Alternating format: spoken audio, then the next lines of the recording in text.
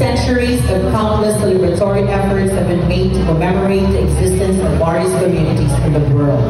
As Barangay Fatima reached its 41st anniversary and 14th Galpon Festival, changes were notably vibrant as the LGBTQIA plus took part as front runners of unity amidst diversity.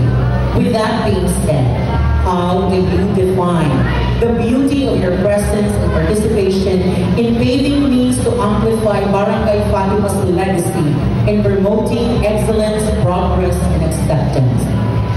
I definitely define my beauty as a prepared attendant tonight. I am not just here for glitz and glamour, I am here for causes. 14th year of festival, Galton Festival, with the theme Kibahagin Isa sa Barangay Fatima Angat Ka. I believe that this history reminds you of your humble beginning.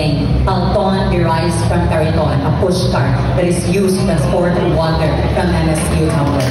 And I really want to everyone to remind everybody that there is three elements that we need to pursue in order to make a difference. And that is the HARD program that composed of three elements.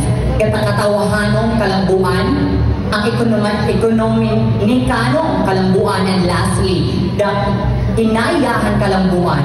And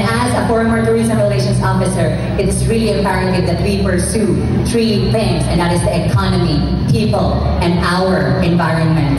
No one should left behind. Let's uplift.